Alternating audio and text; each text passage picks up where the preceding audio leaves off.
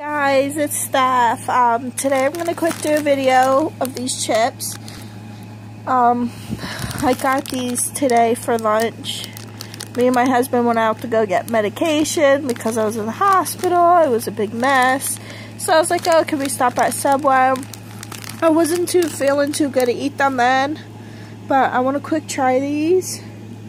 I heard the Greek ones are really good. And I tried a chip before and they were but it's like a really small piece, so I'm gonna quick try them. Really quick open them. That was quite easy.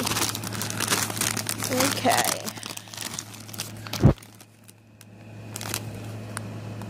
They kind of smell good.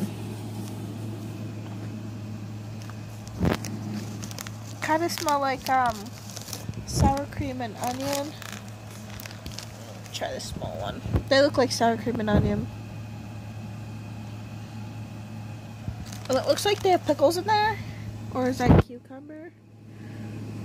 I don't know. I love pickles. Okay, let me try this. Um, they're good. They're definitely good. The Greek ones are good, guys. They're good.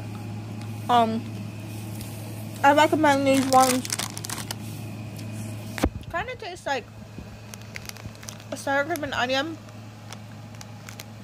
Take out the onion, put cucumber. That's what they taste like. They're really good. So if you go to Subway, you should try these ones.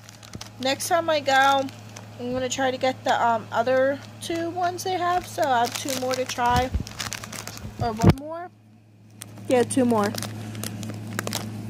I tried these. These were just nasty. So I have this one and this one to try.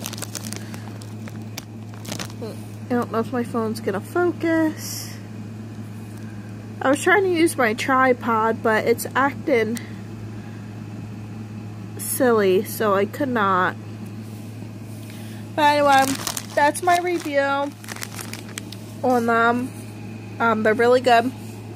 Two thumbs up. 10 if I could give them. So anyway, um, that's it for now. Alright guys, um, peace and love. Bye.